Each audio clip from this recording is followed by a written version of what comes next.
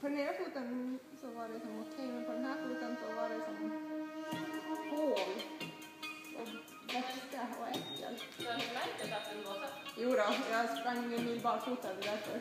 Ja. Ja, då när du skulle ta det lugnt och kan springa en halv mil. Ja, Ja.